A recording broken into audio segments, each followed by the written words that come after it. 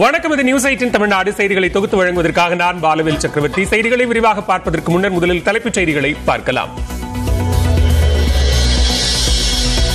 தமிழ்நாடு முழுவதும் ஆயுத பூஜை கோலாகல கொண்டாட்டம். பொறி பழங்களை படையலிட்டு வழிபடும் மக்கள்.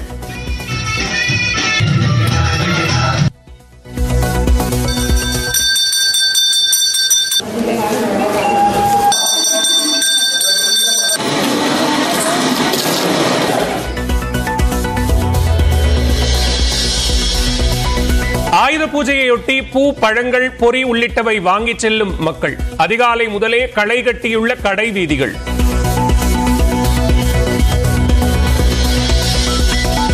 தொடர் விடுமுறையொட்டி கொடைக்கானலில் குவியும் சுற்றுலா பயணிகள். நான்கு கிலோமீட்டர் தூரத்திற்கு அணிவகுத்து நின்ற வாகனங்கள்.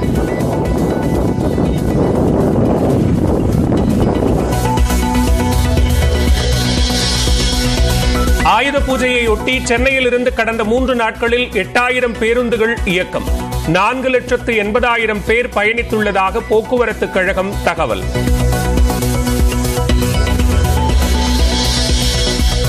ஆயுத பூஜை விடுமுறை முடிந்து சென்னை திரும்புபவர்களுக்காக எட்டாயிரம் பேருந்துகள்.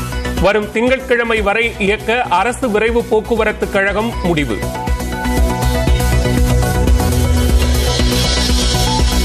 தசரா விழாவிற்கு தயாராகி வரும் மைசூர். யானைகள் சாரட் வண்டிகளுடன் ஏற்பாடுகள் தீவிரம்.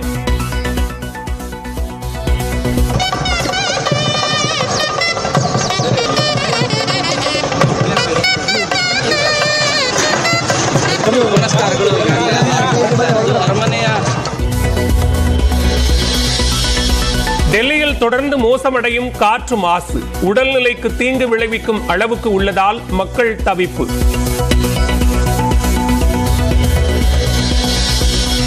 பாஜகவிலிருந்து விலகினார் நடிகை கௌதமி. தனது சொத்துக்களை அபகரித்த அழகப்பனுக்கு கட்சியினர் ஆதரவாக இருப்பதால் ராஜினாமா செய்வதாக விளக்கம்.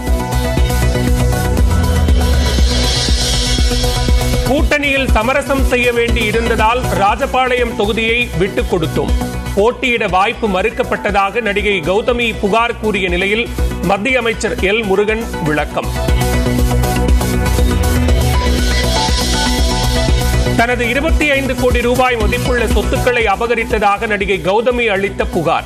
அழகப்பன் மற்றும் அவரது குடும்பத்தினர் மீது வழக்கு பதிவு செய்தது மத்திய குற்றப்பிரிவு போலீஸ். தமிழ்நாட்டில் உள்ள அரசு பள்ளிகளில் எல்கேஜி யூகேஜி வகுப்புகளில் நாளை மாணவர்களை சேர்க்க அறிவுறுத்தல். அரசு தொடக்கப்பள்ளி ஆசிரியர்களுக்கு நாளை வேலை நாள் என்றும் தொடக்க கல்வித்துறை அறிவிப்பு. வங்கக்கடலில் நிலை கொண்டுள்ள ஆழ்ந்த காற்றழுத்த தாழ்வு மண்டலம் பதினெட்டு மணி நேரத்தில் புயலாக வலுப்பெறும். வங்கதேசத்தில் நாளை மறுநாள் கரையை கடக்கும் என கணிப்பு. சக்கரத்தாழ்வார் தீர்த்தவாரியுடன் நிறைவடைந்தது திருப்பதி நவராத்திரி பிரம்மோற்சவ விழா. கோயில் திருக்குளத்தில் புனித நீராடிய பக்தர்கள்.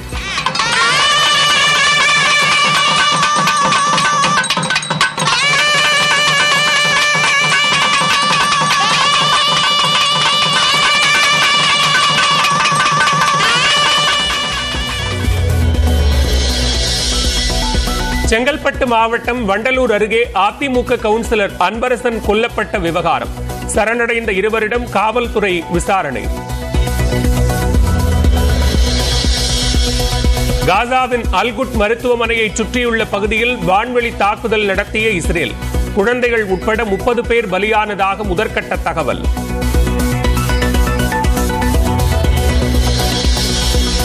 ஆசிய பாரா விளையாட்டு போட்டி உயரம் தாண்டுதலில் தங்கம் வெள்ளி வெண்கலம் என மூன்று பதக்கங்களையும் வென்ற இந்தியா. தமிழ்நாட்டைச் சேர்ந்த மாரியப்பன் தங்கவேலு வெள்ளி வென்று அசத்தல். சென்னை சேப்பாக்கத்தில் ஆப்கானிஸ்தானை இன்று எதிர்கொள்கிறது பாகிஸ்தான். கடந்த காலங்களில் சென்னை ரசிகர்கள் பாகிஸ்தானுக்கு ஆதரவு அளித்துள்ளதாக இமாம் ஹுல்லக் பெருமிதம். தமிழகமெங்கும் ஆயுத பூஜை சரஸ்வதி பூஜை கொண்டாட்டங்கள் களை கட்டியுள்ளன.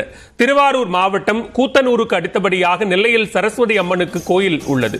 இங்கு கலைமகள் சரஸ்வதிக்கு பல்வேறு அபிஷேகங்களும் தீபாராதனையும் நடைபெற்றன.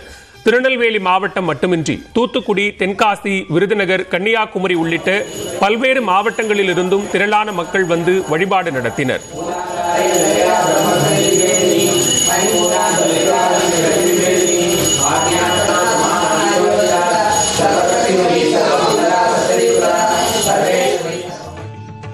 திருநெல்வேலியில் வீடுகள் தோறும் தெய்வங்களின் படங்கள் பூக்களால் அலங்கரிக்கப்பட்டு சுண்டல் அவல் பொறி சர்க்கரை பொங்கல் படைக்கப்பட்டு தீபாராதனை காட்டப்பட்டது.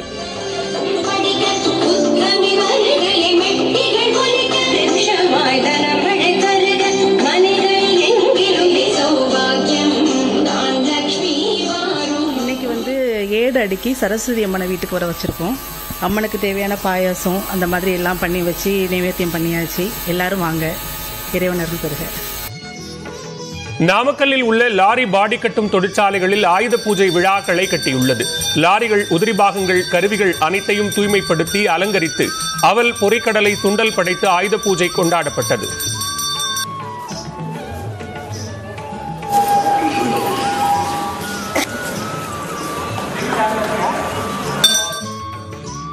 தூத்துக்குடி சிதம்பர விநாயகர் கோயிலில் உள்ள சரஸ்வதி சன்னதியில் சிறப்பு பூஜைகள் நடைபெற்றன. வெண்பட்டில் ஜொலித்த சரஸ்வதி தேவியை திரளான பக்தர்கள் வழிபட்டனர்.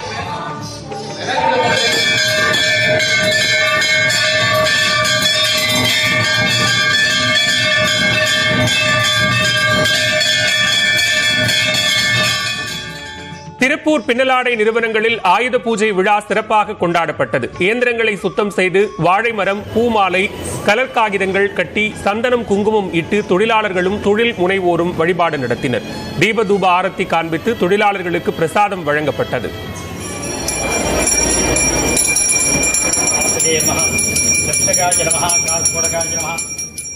தஞ்சாவூரில் தேசியமயமாக்கப்பட்ட வங்கியில் அடகு வைத்த நகைகளை பணம் கொடுத்து மீட்டபோது கவரிங் நகையை திருப்பிக் கொடுத்துள்ளனர். தனது நகையை கேட்ட விவசாயியை வங்கி அதிகாரிகள் மிரட்டியுள்ளனர். நகை மோசடி செய்தவர்கள் சிக்குவார்களா? இந்த தொகுப்பில் பார்க்கலாம். தஞ்சை மாவட்டம் ஒரத்தநாடு அருகே பின்னையூர் மேலத்தெரு பகுதியைச் சேர்ந்தவர் பாலு. இவர் ஒரத்தநாட்டில் உள்ள யூனியன் வங்கியில் கடந்த இரண்டு ஆண்டுகளுக்கு முன்பு ஒரு நெக்லஸ் இரண்டு மோதிரம் மூன்று செயின் என்று அறுபத்தி எட்டு கிராம் எடையுள்ள நகைகளை அடகு வைத்திருக்கிறார். இந்நிலையில் வெள்ளிக்கிழமை என்று நகைகளை திருப்புவதற்காக பாலு வங்கிக்கு சென்றுள்ளார். அப்போது வட்டியுடன் சேர்த்து ஒரு லட்சத்து தொண்ணூத்தி மூன்றாயிரம் ரூபாய் கட்டி நகைகளை திரும்பி பெற்றுள்ளார். திருப்பிய நகைகளை எடை சரிபார்த்த போது எழுபது கிராம் இருந்திருக்கிறது.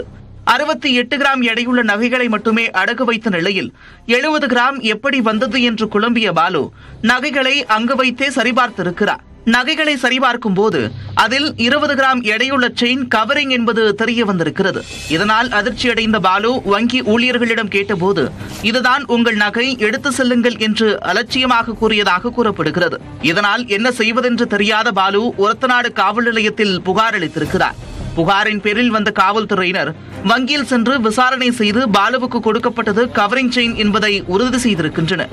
தேசியமயமாக்கப்பட்ட வங்கியில் இந்த மோசடி நடைபெற்றிருப்பது தங்களுக்கு அதிர்ச்சியாக உள்ளது என்று பாலு தெரிவித்துள்ளார். சுற்றுவட்டார கிராமங்களில் இருந்து ஆயிரத்திற்கும் மேற்பட்ட விவசாயிகள் இங்கு நகைகளை அடக்க வைத்திருக்கின்றனர். முறையான படிப்பறிவில்லாத அப்பாவிகள் பலர் ஏமாற்றப்பட்டு இருக்கலாமோ என்றும் பாலு கேள்வி எழுப்பியுள்ளார். இதில் எவ்வளவு மோசடி நடந்திருக்கிறது என்பதை நினைத்தாலே அதிர்ச்சியாக இருப்பதாகவும் இதுகுறித்து விரிவான விசாரணை செய்ய வேண்டும் என்றும் பலர் கோரிக்கை வைத்திருக்கின்றனர். நான் நகை யூனியன் பேங்க்கில் அடை வச்சேன். ஃபஸ்ட்டு ஃபஸ்ட்டு முந்நூற்றி அறுபது ஒன்று அறுபத்தி மூணு கடை வச்சேன். அறுபத்தெட்டு கிராம். திரும்பி வந்து ஒன்று எழுபத்தாறு கடை வச்சேன். திருப்பி ரினியூ பண்ணி ஒன்று தொண்ணூத்தொன்று கடை வச்சேன். ஆகஸ்ட் மாதம் முப்பதாம் தேதி அடை வச்சது. திரும்பி நான் இப்போ இந்த ரெண்டாம் இப்போ திருப்ப வரும்போது இருபதாம் தேதி திருப்ப வரும்போது ரெண்டரை பவுன் கவரிங் நகை கொடுக்குறாங்க. மொத்தம் நான் அடை வச்சது அறுபத்தெட்டு கிராம். இருக்கிறது இதில் எழுபது கிராம் இருக்குது ரெண்டு கிராம் கூட வர இருக்குது பேங்க்ல கேட்டிங்களா? பேங்கில் கேட்டதுக்கு அவங்க அந்த- நகை தான் உங்கள் நகை அப்படிங்கிறாங்க. இப்போ என்ன பண்ணணும் உங்களுக்கு? எங்களுக்கு அவங்க ஒரிஜினல் நகை எனக்கு வேணும். கவரிங் எப்படி கண்டுபிடிச்சீங்க அதை. அதில் வந்து அது கு- இது இது பண்ணும்போது குறைச்சிருக்கு. அவங்களே பார்த்துட்டாங்க. அவங்களே பார்த்துட்டாங்க. கொடுத்தது உங்க நகைன்னு பாத்தீங்களா ஆ, எங்க நகை தான், எங்க நகை இல்லை அது. அந்த ரெண்டரை பவுன் எங்க நகை இல்லை. பாய்க்கெல்லாம் எங்க நகை. உங்க நகை என்ன குறையுது? குறையுது? எவ்வளவு கவரிங்ல கொடுக்குறாங்க? கவரிங் வந்து ரெண்டரை பவுன் கொடுக்குறாங்க. ஒரு செயின். ஆனா அது உங்க செயின் இல்லையா. அது எங்க செயின் இல்லை. நீங்க வச்சது வேற செயின். நாங்கள் வச்சு வேற செயின். அதை எடுத்துக்கிட்டு கவரிங் நகை கொடுக்குறாங்க. அந்த செயின் இல்ல அந்த செயின் இல்லை. அஞ்சு மணிக்கு பிறகு இல்லை இந்த நகை தான் உங்களுக்கு எடுத்துகிட்டு போகணும்னு சொல்லி சொன்னாங்க. சொல்லும்னா நாங்கள் போலீஸுக்கு இன்ஃபார்ம் பண்ணிட்டோம். போலீஸ் வந்து பார்த்தாங்க. பார்த்ததும் பிறகு நகையை செக் பண்ணாங்க. செக் பண்ணும்போது கவரிங்கும் தெரிஞ்சு போச்சு. காலையிலேருந்து கவரிங் சொல்லவே இல்லை அவங்க. இதான் உங்கள் இதான் செய்யணும் உங்கள் சீன் சொல்லி சொன்னாங்க. ஆனால் கடைசியாக பார்க்கும்பொழுது அது கவரிங்காக இருந்திருக்கு. இப்போ எல்லாம் முடிவு பண்ணி போலீஸும் முடிவு பண்ணிட்டாங்க. கவரிங்னு இப்போ வந்து பேச்சுவார்த்தை நடத்திக்கிட்டு இருக்காங்க. அந்த இது என்ன வாங்கி தரேன்? நீங்கள் கம்ப்ளைண்ட் போக வேண்டாம். அப்படிங்கிற மாதிரி சொல்கிறாங்க இச்சம்பவம் குறித்து வங்கி மேலாளரிடம் கேட்டபோது இது குறித்து உயர் அலுவலகத்தில் தகவல் தெரிவிக்கப்பட்டுள்ளதாகவும் காவல்துறையினர் சிசிடிவி உள்ளிட்டவைகளை ஆய்வு செய்து வருவதாகவும் தற்போது இது குறித்து எதுவும் கூற முடியாது என்றும் தெரிவித்தனர். பாஜக